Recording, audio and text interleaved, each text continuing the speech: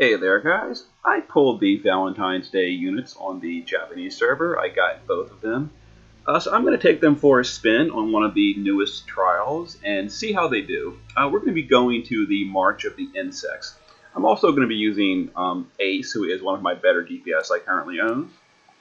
Uh, so we're going to use Sieghard Ignacio, or Siegnacio if you want to call him that, uh, as our evasion tank. They're also going to be doing breaks and mitigation, support, that kind of stuff. Their Japanese version is really versatile, and I like that. Uh, we're going to use Sakura Ayaka as our healer. They're also going to be kind of like a DPS because they're like a DPS healer support mixture unit on the Japanese server. Um, their DPS isn't really like meta tier, but it still helps. We're going to use Lunafreya for mitigation, stat buffing. That's, for the most part, about all she's going to be doing, but magic mitigation is a real big deal on this fight, so we're taking Lunafreya. We're going to use Kimahri as our double evasion unit, or not evasion, our double mirage unit. Uh, he's also going to be doing breaks every now and then, but for the most part, he's just going to be doing double mirage every turn.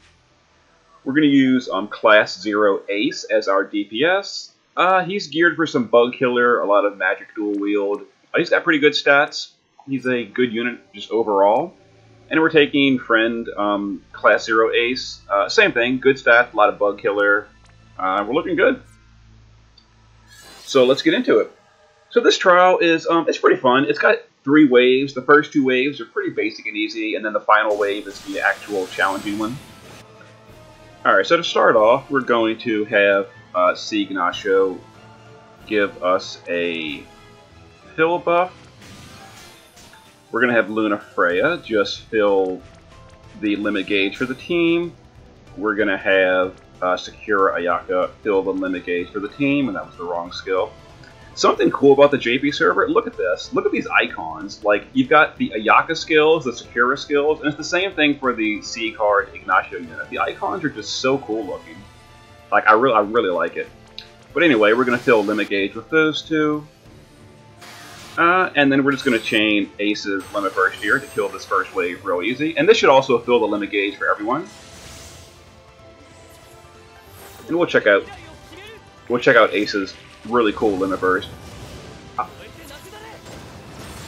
I uh, really like his. Real nice. And this should fill the limit gauge for everyone. We're, we're AoEing like 10 targets. Yeah, we're filled up on limit gauge. Except for Ace, but he's a CG unit, so it fills up automatically anyway. Alright, so for this one, we're going to go ahead and use Kimahri to use his Limit Burst to AoE break everything by 70%. Kimahri's Limit Burst is kind of cool too, I gotta be honest. That looks really cool. I like that. Um, anyway, here are the C, C Ignacio icons. Like, it's so cool. You've got Sieghard with the little rose, you've got Ignacio with his skills. But for this first turn, we're going to use our limit first, which is going to put up cover, mirage, as well as mitigation for the whole team. We're also going to use secure as burst, which gives us an enormous regeneration. It also also enables her to uh, quintuple cast her DPS. Uh, Lunafreya, there's no magic on this fight, so we don't need her magic mitigation, but we're going to use her cooldown for the stat buff anyway. And we're going to do a break immunity buff. Uh, now, Ace is going to imbue Ice, use his power up, and then just a chain. So we're going to imbue, power up, and chain. Now we're going to kill this white one first, because the white one has high spirit, so we want to kill him first. And he does have high spirit, but because we're using Ace, who is like a ridiculous DPS, it's dying quick anyway. But the black one has lower spirit, so you want to kill the one that has the opposite of what you're what you're doing. So if you're using a physical team, you want to kill the uh, the black one first, then the white one. But we're we're doing it the other way around. So we're going to double Mirage with Kimahri now. Sieghard will give us uh, some mitigation and some stats. Lunafreya will fill limit gauge for the whole team. Because I, I, I want to feel the limits of Sakura and Ayaka before the next fight. Uh, and we can just triple chain with the aces. And then Sakura Ayaka are going to times 5 cast. We're going to cap that chain with their, her finisher move. Now, her finisher move in this form is actually very, very fast casting, which is great. Because it, it's really easy to cap all 5 hits. So we're going to start our chain, and then we're going to use the finisher. You heard that little doop doop doop little beep noise? That, that was the that was the five hits of her finisher. So all five of those hits were capped.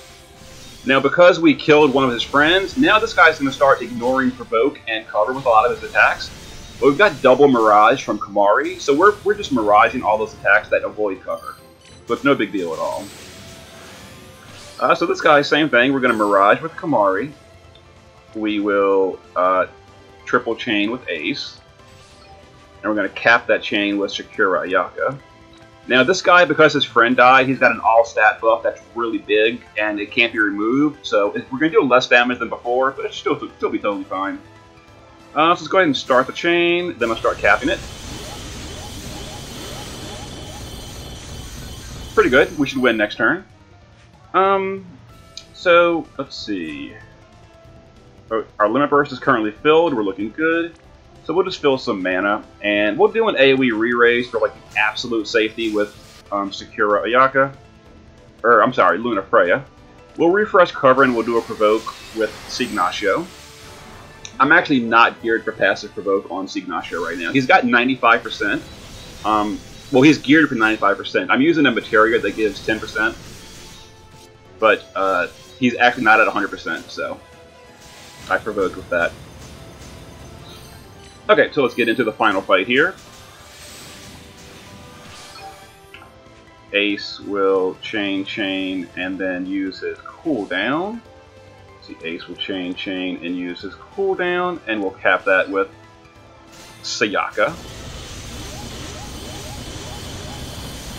I really like the, the Japanese Sakura Ayaka unit because her, her limit burst is such a powerful regeneration ability you actually don't even need heals while her regeneration. but It heals for like 15,000 a turn regeneration. It's craziness. So we're going to go ahead and use her Limit Burst again. We're going to use Sieg's Limit Burst again. We're going to do a long duration um, break with Kimahri's Limit Burst. Now this boss uses a lot of magic attacks that bypass cover. So we're going to use Big Mitigation with Lunafreya, And we're going to do a break immunity as well. We've got general mitigation from Siegnacio's one first. It applies 50%. And once again, we're going to do pretty much the same thing with Ace. We're going to imbue Ice. And then Chain. Now, this boss has a chance every single turn to dispel your team. And if he does that, it's going to be a big irritation, but we should be okay overall. It's just, it's, it's just going to lower our damage quite a bit. Now, he does hurt, kind of, but we're miraging a lot of it. He dispelled us. What a jerk face. Okay, so so that's not too big of a deal. But we've got to we've got a rebuff, which means I can't I can't do my stat buffs. Well, we can do a small stat buff with um, Lunafreya, and we'll do a magic mitigation. Uh, we we don't have Sieg Limit Burst here, which is a little unfortunate. I think we're going to chain beforehand because I might get his Limit Burst anyway. All right, so we're going to cap five times with this unit. We're going to re-imbue and then chain three times, or re-imbue and then that still change, and then chain, chain. Uh, now we're going to start doing Mirage every turn with Kimahri. Alright. Chain, and then cap. Pretty good. Uh, we didn't get Sieg Limit Burst, but this, this is one of the great thing about this version of Sieghard. We can dual cast his cover, and we can put up um, big mitigation, Anyway, so we've got 40% mitigation, 30% physical mitigation. That also puts up um, cover all in the same cast. It's really awesome.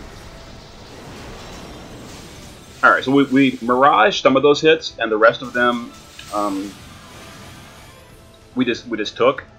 All right, so we crossed the we crossed the 80% threshold last turn. Did we get the spelled again? We didn't. So because last turn we crossed the 80% threshold, we've got to hit the boss with an Esper to stop him from um, eating someone. So we're going to go ahead and hit him with that Esper to stop him from eating. Alright, we're going to Mirage again. Ace will uh, chain, chain, and cool down. It's actually not ready yet. Okay, that's fine. We'll just chain three times. Uh, chain, chain, chain. Sakura Ayaka should, have reloaded first. We'll just cap this five times. Now, she does have a huge healer support kit, but because we have got this really good team built, with Lunafreya and Kimahri's dodges and Siegnacio's buffs, we're actually able to concentrate entirely on damage with our Sakura Ayaka this time. Uh, before I do that, let me go ahead and put. I just did that last turn. I'm gonna do that. I want. Um. Ah, here it is. I want. Uh, big buffs, and I'm gonna provoke with Sieg. All right. Go ahead and chain and cap the chain.